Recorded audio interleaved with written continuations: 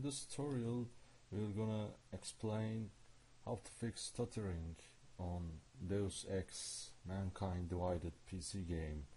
You can choose that options in order to run your game more faster and fix the FPS so you have to do firstly enable shader cache with maximum pre-rendered frame at first. So you have to do this. Enable shader cache with maximum pre-rendered frame rate at firstly. And lower the settings in your game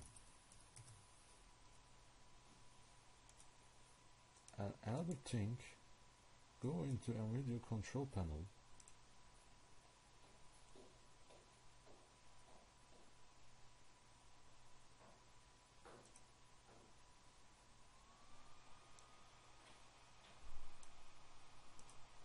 When you go to it click the manage 3D settings and choose your game from the list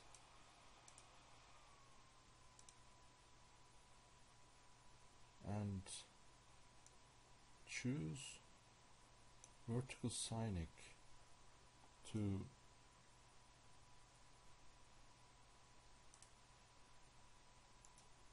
on. And also enable triple buffering vertical sync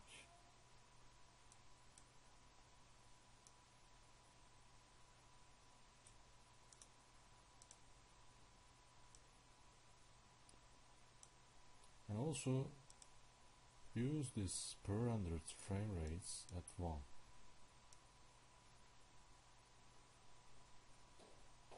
and click apply.